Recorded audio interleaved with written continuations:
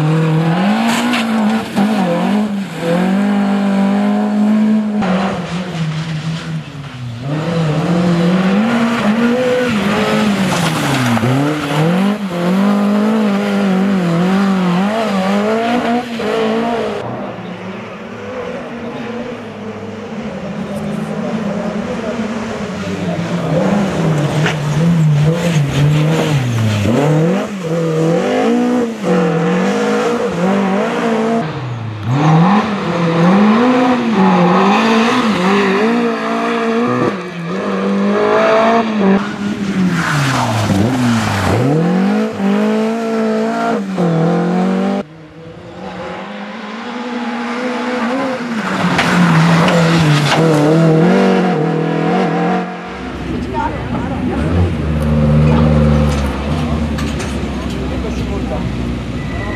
Šimorda, Milan Dlouhý, Škoda 130 LR a velký potles, prosím vás, první místo ve třídě 17. Takže tyhle dělají právě tu rally nejvíc zábavnou, protože borci přijedou za závodit ze strojem, který musí jenom bokem. Tyhle stroje to jinak neumí a tohle krásné 130 LRO jednoznačně už vidím oházené zadky krásně, tak to má být.